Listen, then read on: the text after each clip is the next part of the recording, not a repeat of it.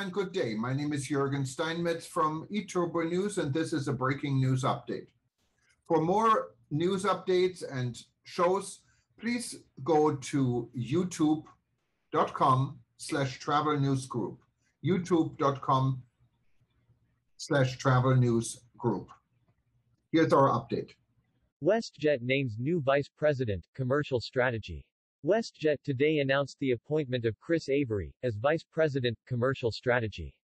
Avery, a former WestJetter, will join WestJet's senior leadership team effective immediately.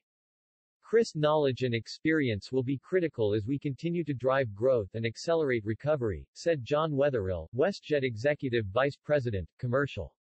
We are thrilled to welcome Chris back to the WestJet team as travel demand ramps up and we focus on our long-term commercial strategy.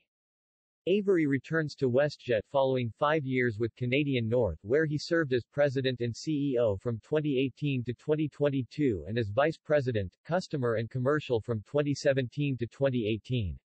During his time at the helm of Canadian North, Avery led the merger and integration activities between Canadian North and First Air and successfully navigated the pandemic crisis to position the airline for recovery.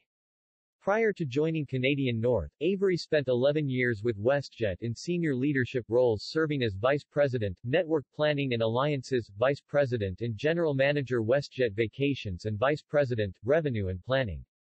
With more than two decades of aviation experience across North America, Avery has also held positions with Alaska Airlines, Air Transat and Canadian Airlines International. I am excited to return to WestJet at such a pivotal time as the business evolves to meet the travel and vacation needs of Canadians in recovery, said Avery. This is dynamic and innovative team and I'm looking forward to working alongside WestJetters to ensure the airline's future success.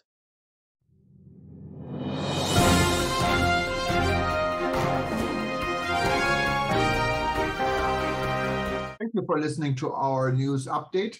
There's more on youtube.com slash travel news group, or you can read us, of course, in going to our news portal at eturbonews.com or travelnews.online.